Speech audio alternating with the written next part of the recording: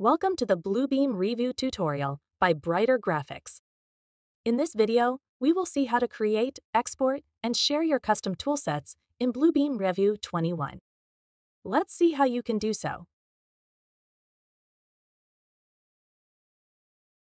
After opening Revu 21, go to the Tool Chest panel at the left of your workspace. You can enable or disable your toolsets in the tool chest drop down at the top Watch our other video to understand how to use the tool chest. Now, click the Manage Tool Sets option from the Tool Chest dropdown to create your custom toolset. In the dialog box, hit the Add option to create or add existing toolsets. Here, you can create a new toolset from scratch, or add an existing one by checking the existing option and importing the file shared by your team member. Let's create a new one and give it a unique title. Check the Show in All Profile option to access this toolset in other Revu profiles. The Relative Path option will keep your toolset intact with Revu, even if you change the file location for your custom toolset. Once you are done, click OK and give the file location to the default Revu folder or any of your desired folders.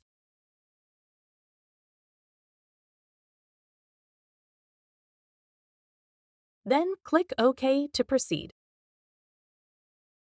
Here you can see your new toolset saved in Revu Tool Chest.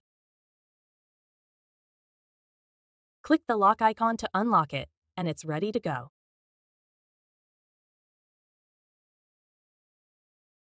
Let's create a custom shape and add it to the newly created toolset.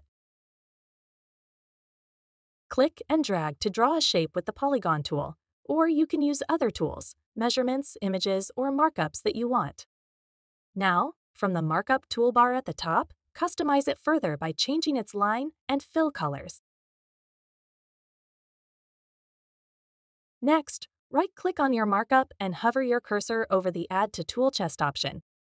Then, select the newly created toolset where you want to save it.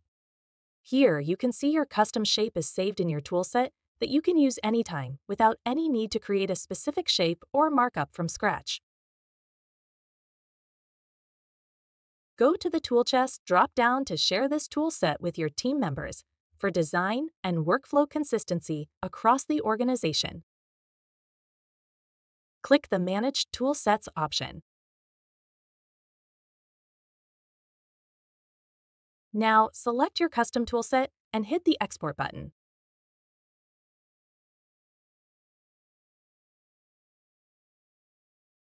Let's create a new folder to save it.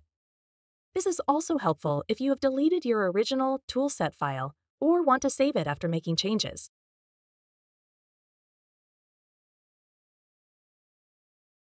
Once you are done, click Save. You can now share this file with your team members via email or cloud, so he or she can simply import this file in the Manage Toolsets dialog box. And simply select the toolset file to import in Bluebeam Revu. This is it for today. Don't forget to watch our detailed video on how to use the tool chest in Bluebeam Revu 21 to make your toolsets more organized and your workflows more seamless and efficient. For more Bluebeam tips and tricks, stay connected with Brighter Graphics, your go-to partner for all things Bluebeam, digitizing construction since 2003.